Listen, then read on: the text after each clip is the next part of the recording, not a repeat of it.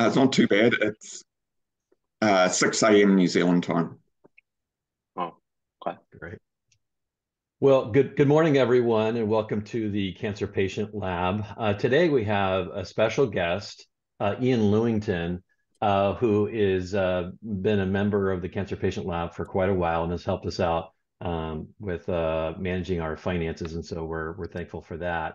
Uh, but Ian is here today to talk a little bit about um, his his journey uh, and his treatment options and tests he's had um, and really to get advice. And so this is what we would kind of consider a hackathon, where we're using um, the crowd, the community in this case, uh, to help um, uh, Ian find um, options that may not have been on the table um, prior to this call. And so, well, we're thankful for Ian. Uh, and just as a reminder, this session uh, will be recorded and will be made publicly available. If you prefer not to have your name associated with this session, you can exit and watch the recording later. You can turn off your camera uh, or you can remove and edit your name from your Zoom credentials.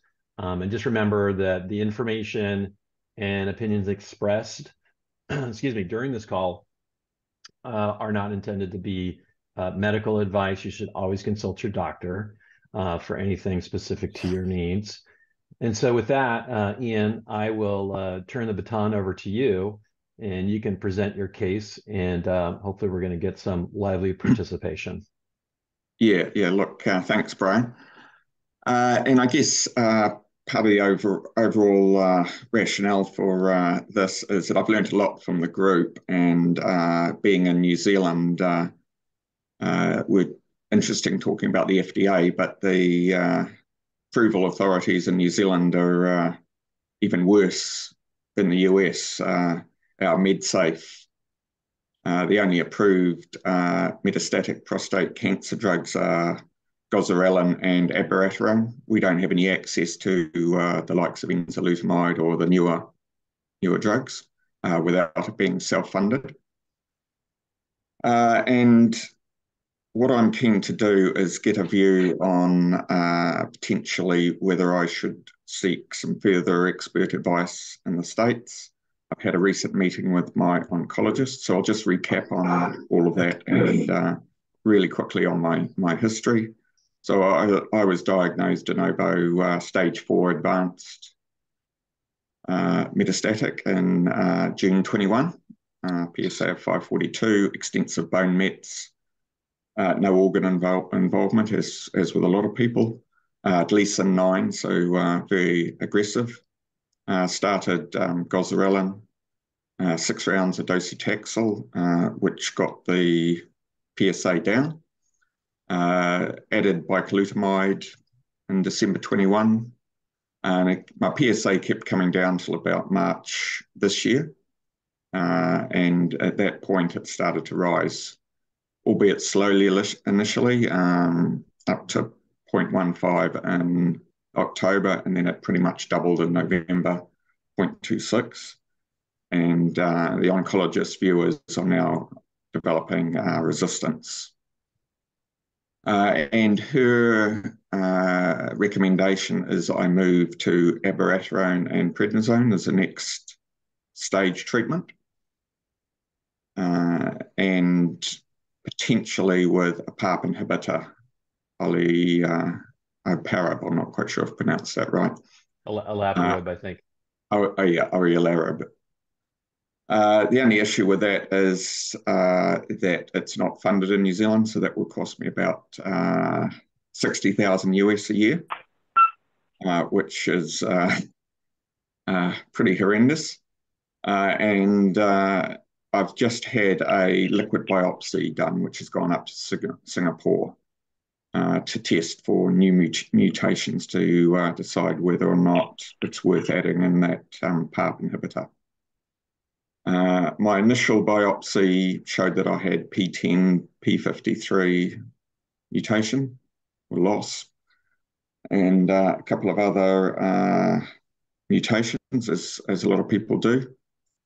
Uh, but there are options there. I have consulted about having uh, lutetium, uh, actinium treatment, uh, quite keen on looking at uh, bipolar androgen therapy, given that my last PSMA scan, which was about a month ago, showed that bone mets were quite small with low SUV expression, around two, uh, with nothing significant showing up, and they've all shrunk from the year before. So the PSA rise is uh, separate to the existing METs, it would appear, and perhaps it's just indication that there's some circulating tumor cells or something that's starting to trigger a uh, PSA rise. Hence the uh, oncologist's uh, desire to uh, introduce abiraterone and prednisone into uh, into the mix. But what I'm I'm keen to do is discuss with the group how that might be approached in the US, what other options that might that I might consider. Uh, I can travel. I'm I'm still quite fit. I don't have any bone pain. Uh, you know, there's a lot of discussion about the Mayo, the Moffitt centres, and uh, other um, centres of excellence up in the states, and uh, just how I might pursue treatment op- options given that uh, uh, you know, I'm still at the initial start of a, what could be quite an accelerated curve given at least a nine. Um, well, I, I could maybe uh, start us off here, um, Ian. So uh, I've seen, oh, so, so I was diagnosed in 2016. Um, and I also have a Gleason 9, so aggressive cancer. Uh, my my Mets are well, they started out being primarily or only tissue based. Uh, they're now uh, they're now bone mets, but they're uh, kind of localized. Uh, but in any event, uh, you know, my first treatments were surgery, radiation. Um, then I went to apalutamide, which is a second line hormone therapy. Um, you know, so that would put that in the same category as abiraterone. Um, apalutamide, by the way, also goes uh, by the name of Erleada, E R L E A D A, I believe. Um, uh, apalutamide was uh, was very effective for me uh, for a while. I think maybe I got you know, at least 15 months or so of benefit from that where my PSA was was uh remained pretty low. Uh, so when I say low, like below, you know, three.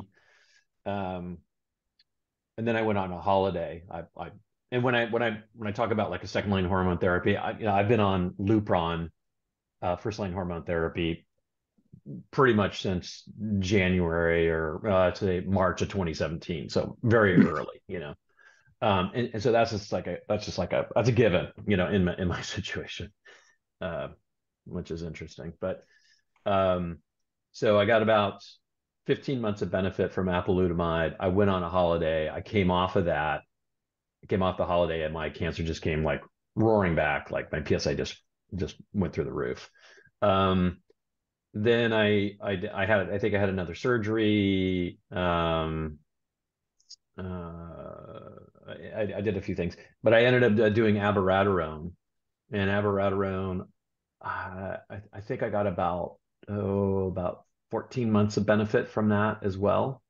Um, and I can share you share with you my journey. I don't want to detract too much uh, from this, but I'll, I'll share with you like my whole PSA chart and the overlay of my treatments, just so you have that and in that you, you might find some treatments that can be um, hmm. used as options. It also has what my genomic mutations are my proteomic uh, signatures etc so I'll, I'll, share that with you um, uh, as we as we uh, as we wrap this up.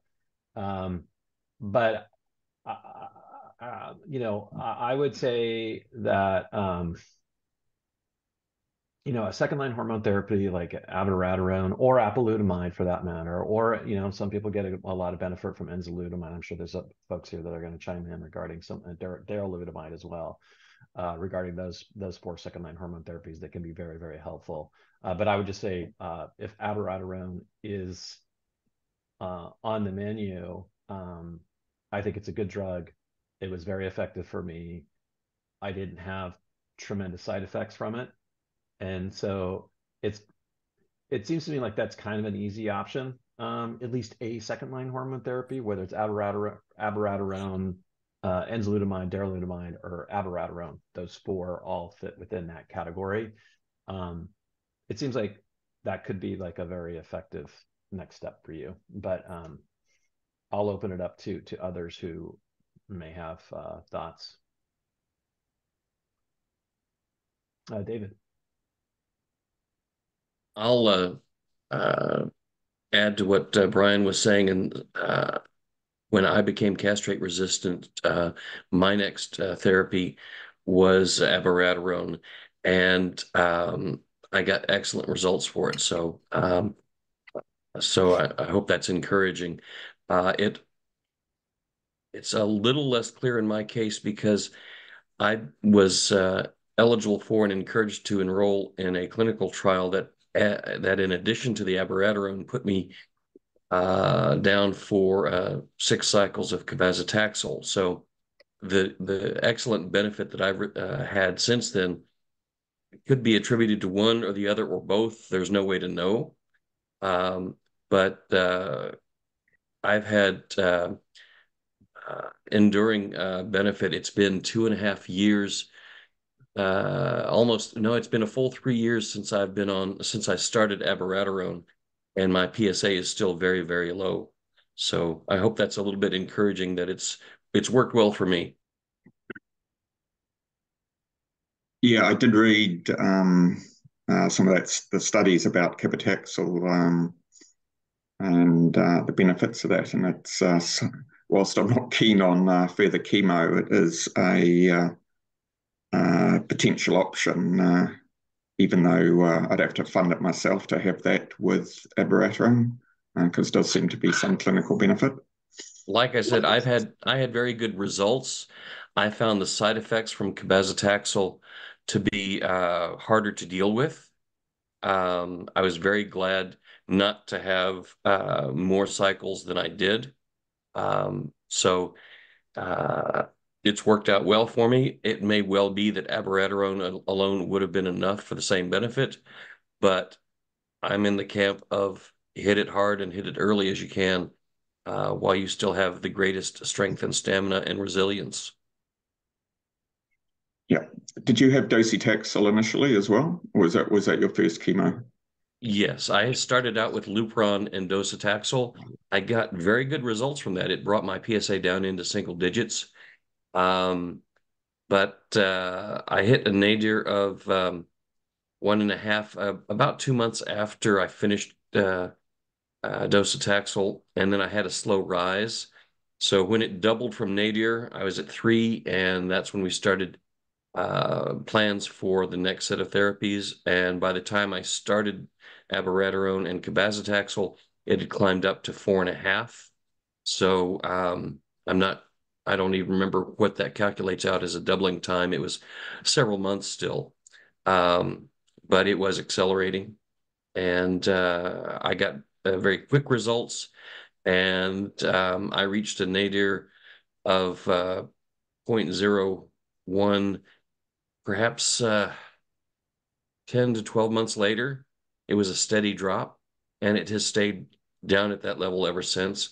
Again, I don't know if it was one or the other or the combination, um, but uh, I think abiraterone is a, uh, a very good next step to pursue.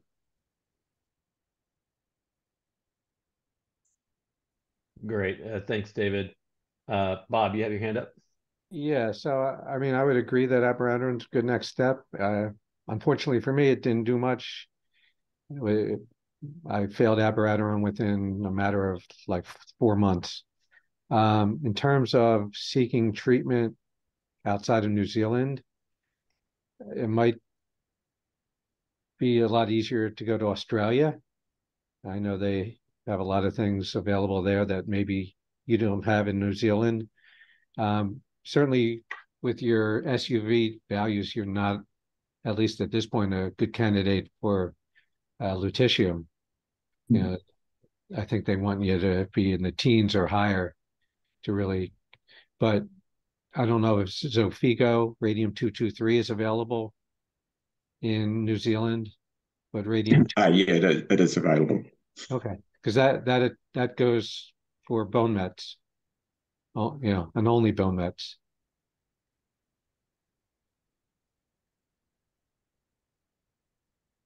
Yeah, I talked to a, um, a Dr. Uh, Nat Lenzo in Australia, who uh, some of you might have um, heard of, who does uh, Pluvicto actinium uh, combination uh, treatment. But uh, he, he was the same view as you that uh, I needed my SUV uh, over 10 for it to be really a candidate. Um, so probably not wanting to pursue that at this stage. Yeah. Is, it, is Radium 223 funded for you? Uh, no, I'd have to pay for it.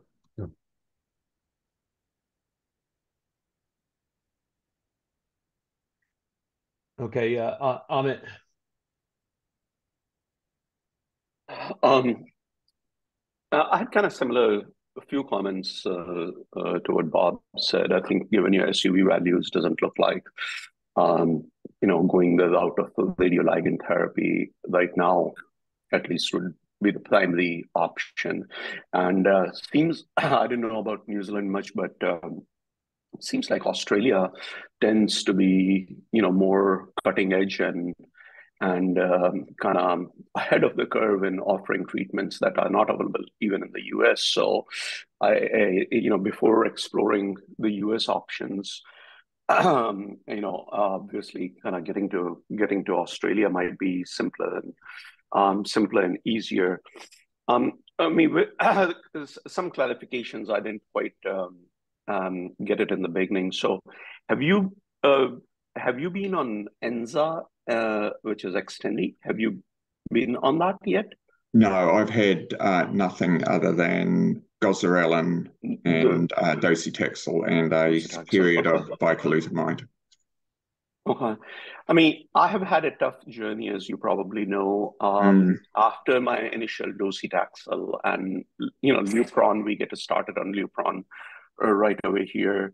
Um, Enza Xtandi, which is, you know, which is very similar to um, Zytiga, uh, abiraterone, uh, I was given um, Enza first, and that gave me a 12 months of stability. I won't say that it brought down my um, PSA, but it kind of kept it flat in the single digits, which was, you know, that's as low as I've ever gone in anything. I've never, you know, um, so so I'm kind of looking at my PSA chart, and probably the longest response I got from any drug was uh, Xtandi, um, Enza and um, that was 12 months. Um, and then I switched to uh, Zytiga abiraterone, and I probably got about nine months of response on that.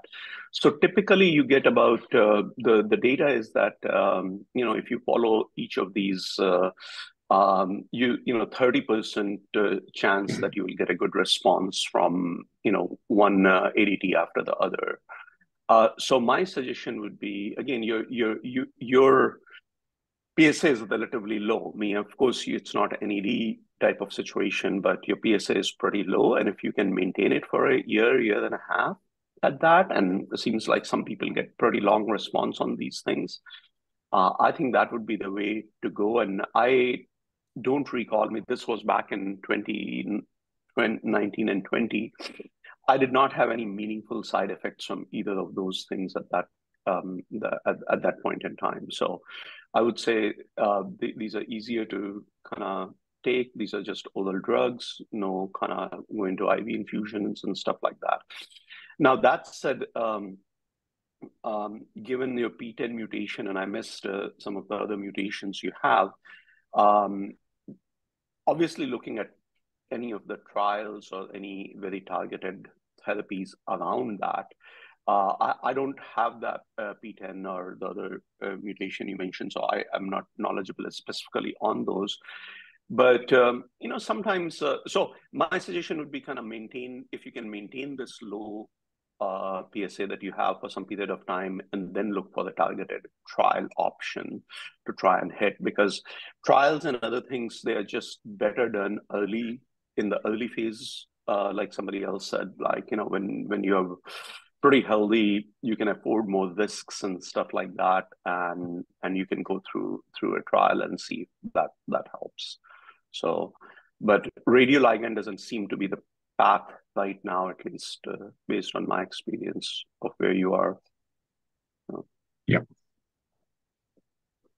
Um, thanks, Amit. So, so um, Ian, there's a there's a few uh, additional thoughts I have, then I, I'd love to kind of pull uh, John uh, into this conversation too, and his experience with bipolar androgen therapy. Um, but I'm going to put in the chat here. This could be useful. Um, I'm not going to pull it up right now, but but it's something that you know these are just um, these are resources i think for, for you to kind of think about um, and everything is in the google drive which uh, you have access to. If you don't have access to it let me know. Um, but i'm pretty sure you do.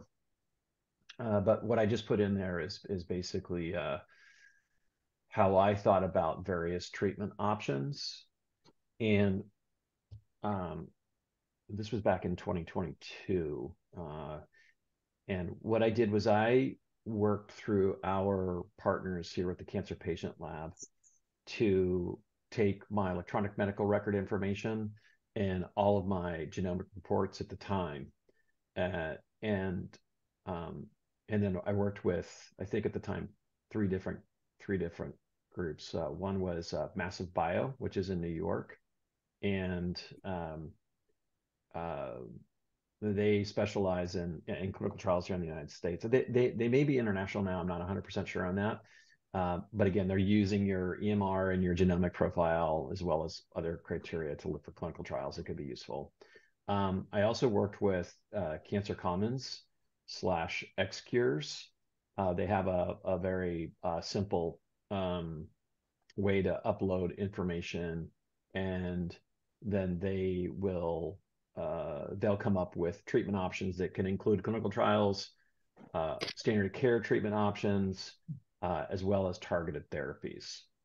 And then um, the other group that I worked with was CureMatch, and CureMatch specializes in combinatorial approaches. Again, these are US based firms, but the, the process is pretty painless and it could help you to identify treatments. You can just look at this spreadsheet that I just dropped in in the uh, in the mm-hmm. chat, and you can kind of see how how I kind of approached it. You know, one component is okay. what is the target that I'm going after? And so I've got, for example, I've got a, a PBRM uh, alteration. I got TP53. I've got um, uh, another one which escapes me right now. HER. You have HER. Oh, I, yeah, you're right. I have I have a HER2 uh, uh, relatively high expression uh, RNA expression, not a not an alteration, but a, um, uh, uh, high RNA expression. Um, so in any event, you know, um, maybe the way to think about this is is is there sort of like a maybe a bridge strategy for you to take something now that can um, keep your ch- cancer in check um, or or um, or, uh, or, or minimize it while you're looking for other targeted therapies that might take a hmm. little bit longer for you to identify the identification process is actually pretty quick all three of these vendors that i just mentioned they they came back with recommendations i think within two weeks. So it was it was pretty quick. Um were they were they actionable brian? Were you able to? Uh yes yes they were. Oh good. For example um uh so, some of them were not. So uh, i would say cure match i don't think i w- w- cure, cure match was a little bit more of a challenge just because getting a physician to uh to um to prescribe uh combinatorial drugs uh is it can be a little bit challenging. Like, what's the dosing strategy, um, for example? Um, but yeah, B7H3, uh, for example, uh, and uh, the B, B7H3 antibody drug conjugate was identified. Um, there's also um, uh, trastuzumab uh, for in her for HER2, um, and there were some others um, that that, uh, that that came about as a result of that. And so I, you know, I think um, working with Cancer Commons was really helpful for me, um, and Massive Bio as well. I think that those were the two. But as we kind of, you know, have evolved, if you can get, you know, uh, RNA expression, then we have partnerships with Shepherd Therapeutics and Genomic Expressions, and so you know that that can help, and they will help to identify um, uh, targeted therapies for you. So so anyway, so you know, because I was in your shoes, uh, that's how I approached it, which was okay, you know, let's do something that is sort of within standard of care, at least in the United States. Um, and while doing that, um, you know, try to identify, you know, other targets that you can go after so you have options and that becomes powerful because when you go when you when you have a conversation with your doctor and you talk about these various targets and you talk about associated treatments it kind of it can open up new doors for you. And i'm not the only one who's actually gone through that process. Uh, there, there are other folks within the cancer patient lab who've also done that. And they've identified uh, treatments that were previously not on the on the table. Um, and I can talk to you, you know, um, offline if you want to about mm. any, any of that stuff. Um, but but that is one approach. Um, so that approach again is, you know, have a bridge strategy. Maybe it's a standard of care option. Second line hormone therapy can be very helpful while you're using all of your genomic information and getting new genomic information to identify new targets and new treatments. So that's one one path. Another path, which is why I called John into this, is is BAT, you know, is bipolar androgen therapy something that um, would be uh, that that you might respond to? And right, um, so I don't one so, one third of people. Go yeah. Brian. I'm yeah, yeah, yeah. So, so you know, we we had we had a session on bipolar androgen therapy from um, Dr. Uh, Antonarakis. Uh, so mm-hmm. that's one of our recorded sessions, and so you know that like it's like a, a third of their patients see like tremendous response. A third see uh, sort of like stasis, where their PSA just kind of like remains flat and there's no progression, which is great. And then a third kind of see their their cancer take off. Um, and I don't know if there's a test right now that will help us determine which you which you you know which bucket you would fit into. Um, but I think that that would be a, a very interesting approach, and that fits into the whole lane of adaptive therapy. And again, you know, we've had um, we've had uh, you know several sessions uh, on adaptive mm. therapy, um, and uh, that that uh, use uh, test. There's actually one that's that's um, a clinical trial out of Florida that is using abiraterone on a, an adaptive therapy approach. Um, so anyway, so I don't know, John, you want to talk a little bit about your experience because your experience is even different than the what uh, Dr. Antonarakis talked about because you're using Russ's protocol. Right, right. Um, I am. Um, and another thing, Ian, is uh, Russ is a good source for you for BAT, and I'm sure I think you've already communicated with them on I, it. Yeah, and, I talked Paul, to um, Russ. Yeah, and Paul, Paul Van Camp is awesome. He he has a different uh, BAT protocol, but he's also did the J five nine one in uh, in Australia, and I I thought he had bone a bone mets, a couple bone mets, um, but I'm not sure.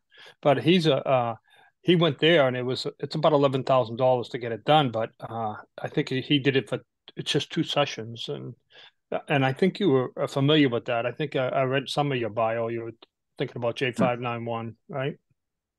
Uh, yeah, I, I think I've heard of that.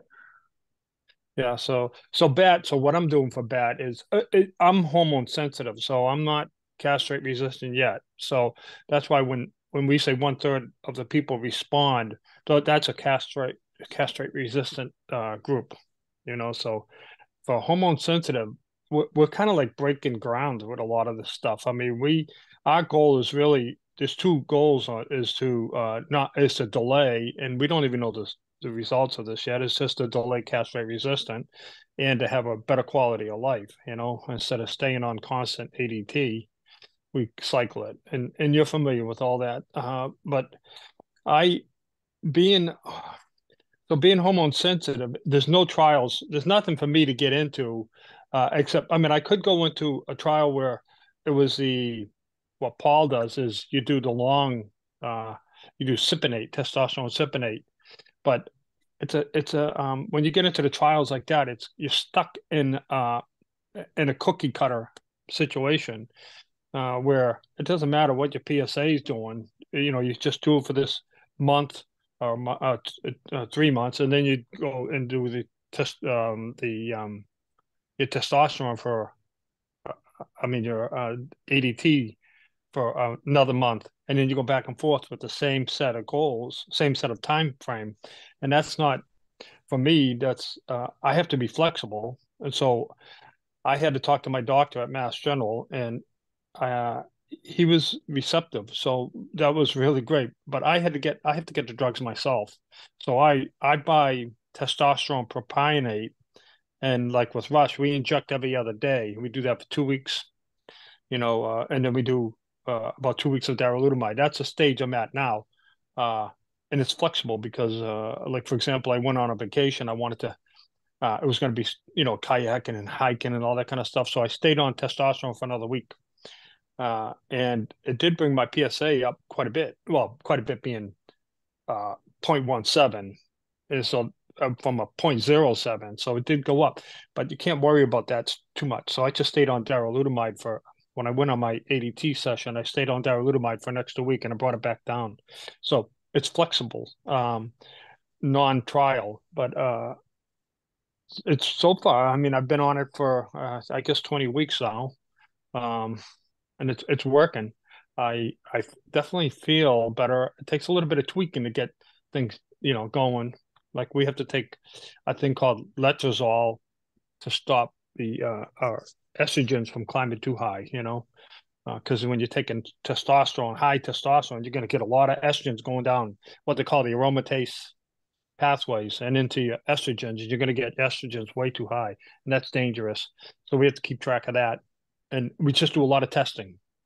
Now, I don't know how your testing is done over there, but in the U.S., we can we have this labs you can do on your own, and that's what I do. I mean, I do quarterly. I do my regular oncology labs, you know, but every pretty much every other week I'm I'm buying I'm I'm buying labs through Quest Diagnostics and doing going and having the blood drawn myself, you know, and a doctor signs off, and I don't even know who the doctor is, but that's how we keep track of where we are with our testosterone, our PSA, and our, my E2. I do E2 all the time, estrogen, um, because I, those are the three things I really have to watch. So, I mean, it's an option. I, I, I like the idea of uh, staying, what everybody's saying is staying on that abiraterone for as a bridge, you know, and that will give you time to relax a little bit and focus like get those uh, cancer common things done or something if you want or do more research yourself and um and and and it gives you focus on on those things instead of just worrying about everything you know so it's good to have a, a direct focus on where your cancer is like you have tp you have the p53 gene yeah so th- there's plenty of plenty of information on that to focus on and trials and stuff like that. So I'm not. Uh, I know that's a pretty serious gene, uh, and you have quite a few bone mets. Is that what it is? Uh, yeah, they're extensible up my spine, through my ribs, uh, pelvis. Yeah, and so there's just too many to zap, I guess. Yeah, correct. And, I've um I've had various consultations with the radio radiologist. I only had one round of radiation because I had a large met pushing on my spinal or yeah. close to the spinal column. And I yeah. had that before I started docetaxel. Yeah, so that's your other option then is uh, BAT, but like it's one third. Uh, if you're not getting any pain from bone mets, you can you can try BAT. But if, as soon as you start getting pain from bone mets, you got to kind of get off of it because it, it, it will create your testosterone to to, to uh, grow and your cancer to grow.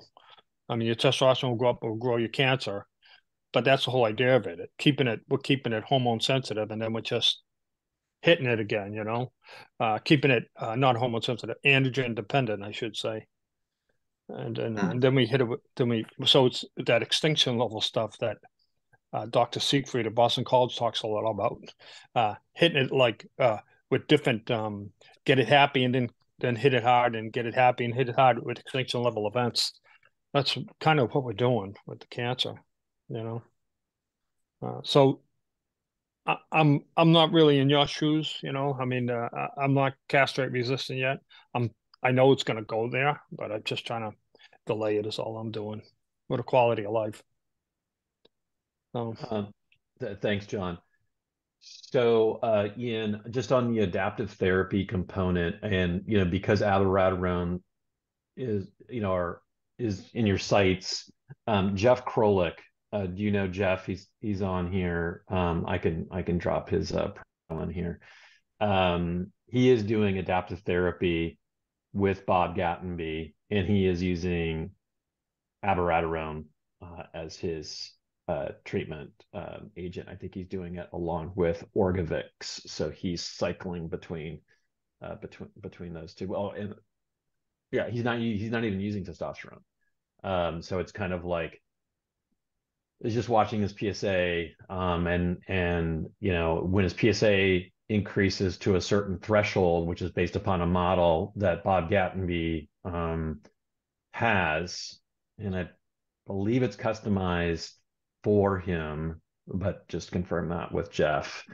Uh, as it rises, then he he starts uh, Orgovyx and um, Abby, I believe, and then and then uh, you know his PSA comes down, and then and then he takes a, a break, watches his PSA go up, and so it's just kind of like this watching your your PSA kind of like move.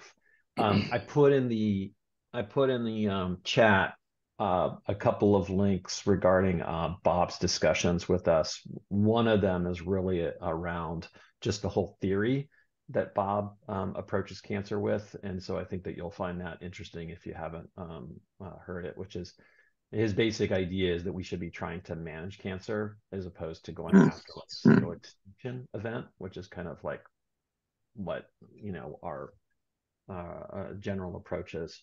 Uh, so it's really fascinating um, and something that maybe you could talk to your doctor about uh, uh, or other doctors is appropriate um, if you're going to be going after abiraterone. Yeah, my look, my oncologist is uh, receptive to the idea, and she's done a bit of research. Mm-hmm. There's only other one other person in New Zealand that's done uh, BAT, mm-hmm. so it's a little bit out there from a New Zealand perspective. So I have been firing her off some of this information from the group.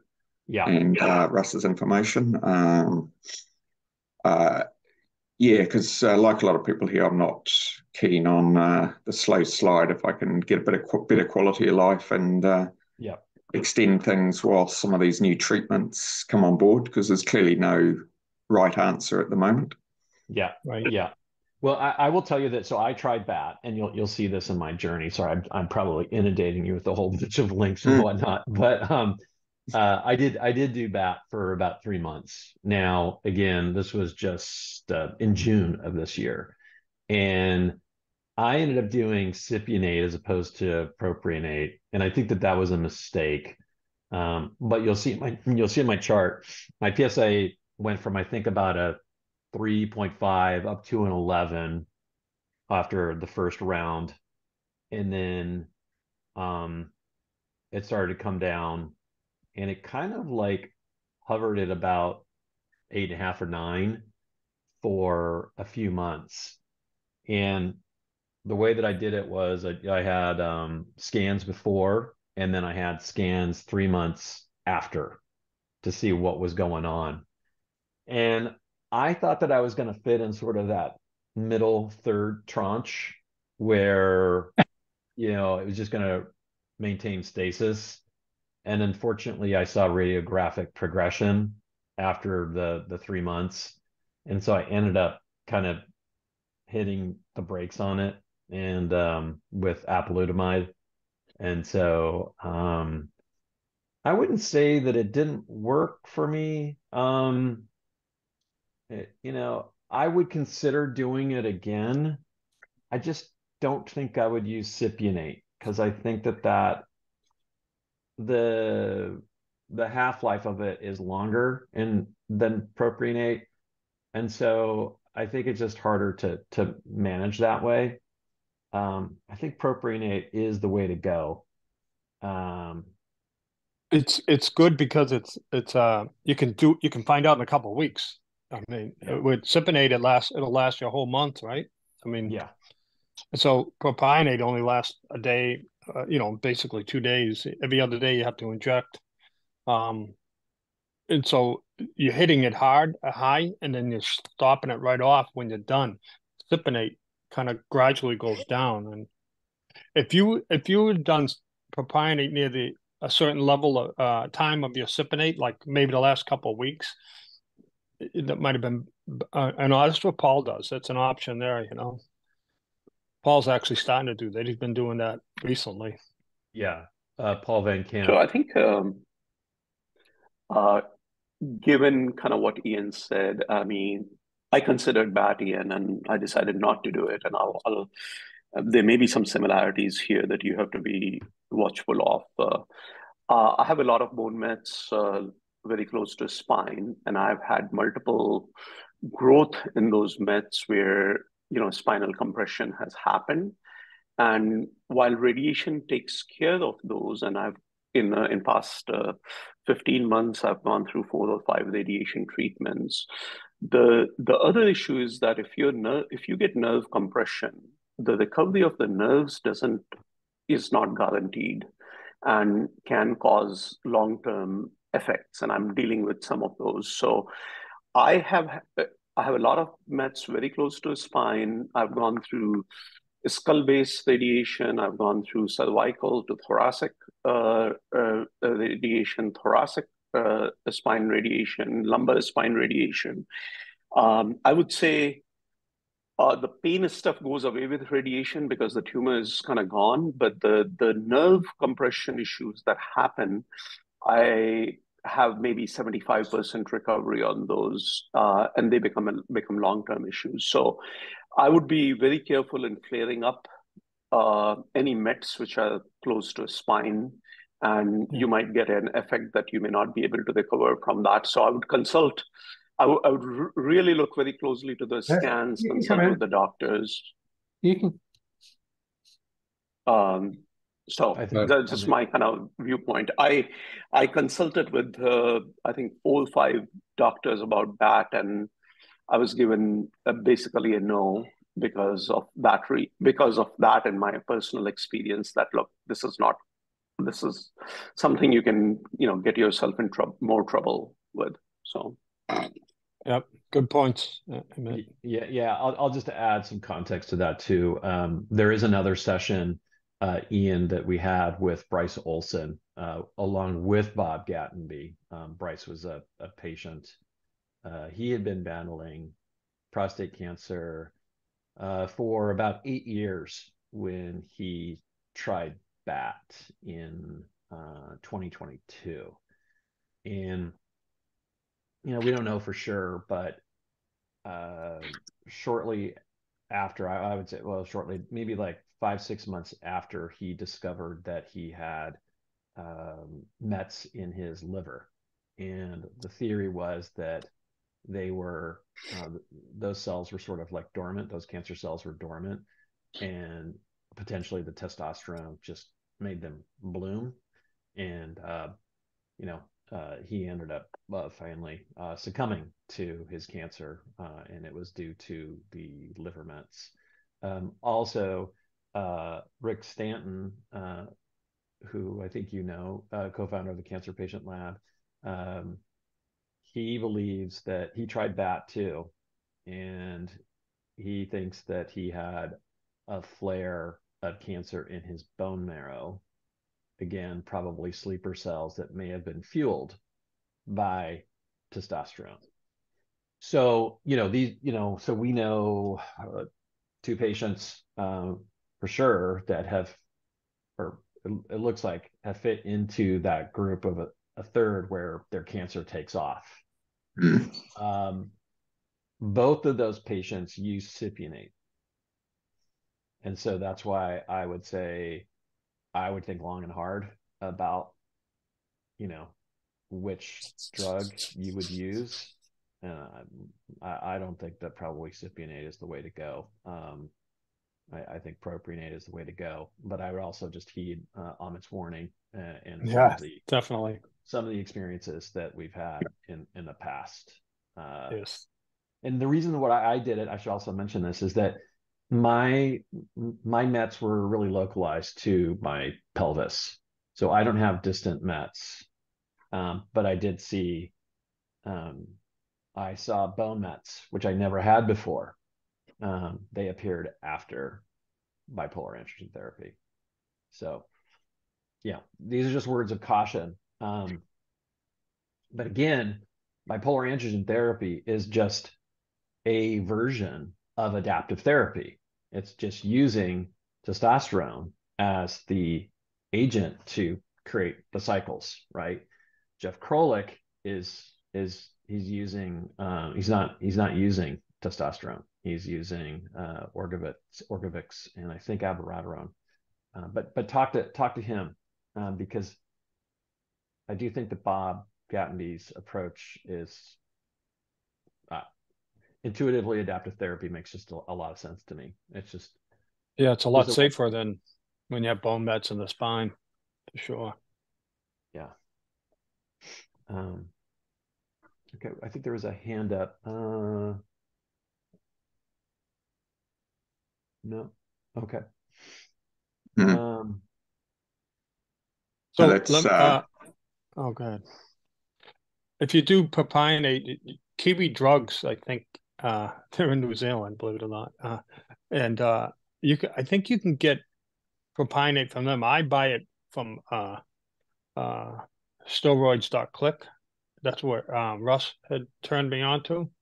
And um, it takes about a month to get in, but uh, that's where I buy my propionate. I mean, I have to buy it myself, you know. So the doctor, I didn't even ask him to prescribe that. I don't even think they would. So, but like uh, in Amit said, is um is the bone spine, the bone mets are going to be uh, that's a tough thing to think about. So. Yes. So, you know, I think we've given you some food for thought. Hmm. I think the the challenge here is how do you access some of these things that we're talking about you know? Um, so i put in the link there. I, I, do think it's a good advice to to maybe go to australia. It's a little bit closer. Peter Mac is like they, they've done i know they did uh, they've done a pioneering pioneering work with lutetium. Um, so uh, so i'd give that uh, some serious consideration. Uh, not an expert in what they do, but I, I do know that they've they've done a lot in that area. Um, yeah, no, I have heard of that uh, institute. So uh, yeah, yeah, yeah. Um, so um, we're we're coming up on the hour. Yep. But I I want to make sure that you're getting what you want, or do you have other questions? Uh, no. Um, the uh, the chat box does that stay? I'm not that familiar with how the uh, Zoom works, so I can just access it. Yeah, after the call. I'll, I'll uh, I I think I'll get like a little um, chat, uh, kind of like excerpt, uh, and I will I'll send that to you. Uh, if not, I I've, I've got the links in my head, so I'll I'll send, I'll, I'll send them to you. Okay, uh, no, much appreciated. That the the chat window does not persist once the session is closed. Yeah, uh, yeah, but some, some with a recording, you like I get uh like a little transcript of the chat, so it it should be in it should be in there. Uh, uh, so I'll uh I'll send that to you. If not, uh, I'll I'll send I'll just I'll pull them again. I, I know which ones they are. Yeah, no, no. If you're able to send that, that'd be lovely. Um, look, uh, much appreciated, and thank you everyone. Uh, I'll uh, I will pursue that and talk to my uh, oncologist a bit further. She is um, actually really good. She's uh, receptive to these alternative conversations and some of the things that aren't trials and standard of care, which I know a lot of my previous oncologists wouldn't wouldn't look at anything that hadn't been through the uh, whole trial process, which, uh, as as you were saying at the start, isn't uh, ideal for us on a uh, shortened timeline. Yeah, yeah, So, so I think you know what I think we can help you with is is provide a means to get a menu of options. So I yeah. kind of walked you through that process. Perfect. And then once you have a menu of options, um, again, you, you know, to have that, you got to have, you know, your basic electronic medical record and you need to have genomics, right? And so yeah. I'm assuming that you can get access to some sort of uh, testing. I, have got I've got all that, and I'm uh, just waiting to get a liquid biopsy uh, genomic testing back.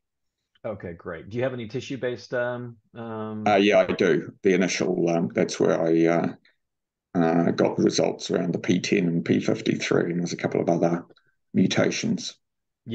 So so so basically the, those are like the building blocks to be able to get some some options. And so the spreadsheet the treatment spreadsheet that i send you which i'll, I'll send you again so you have it um, is using that as the foundation to identify different options. And then i took i had like 21 different treatment options across those three um, service providers. And then um, i took that into my doctor and we we talked about them. And we said okay hey which ones make sense, you know, just so that you're covering all of your bases. Um, and um, it's an it's an iterative process. So even though like I haven't really refreshed that since you know since last year, uh, those options are still on the table, and so okay. I can I can keep coming back to them. Um, so anyway, um, you know, develop that menu of options um, and then it's I, it's going to be figuring out the access component, and hopefully she can help you with that. Oh, that would be excellent. No, thank you very much, everyone. I'll let everyone uh, get on with the rest of their day or evening or wherever it is. Awesome. Okay. Well, thank you, Ian. Appreciate it, and thanks everyone for for joining. Thank you very much. Take care.